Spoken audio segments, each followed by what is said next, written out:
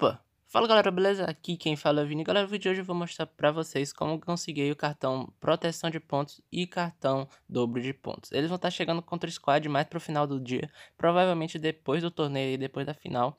E jogando partidas contra o squad você consegue aí resgatar esses cartões. A gente vai conseguir mais ou menos quatro cartões, não vai ser uma quantidade muito grande, mas já vai dar pra ter alguns aí pra começar a guardar. E eles vão começar a vir cada vez mais nesse tipo de evento pra gente estar tá podendo adquirir. Então jogando uma partida você ganha 1, jogando 3 partidas você ganha 2, 5 partidas 3 e 9 partidas o quarto. Porém, eles ainda não estão valendo, ainda não estão no jogo, a gente vai ter que esperar chegar o eventozinho ao jogo, que vai chegar mais ou menos dessa forma aí, que vai estar tá aparecendo aí para vocês agora.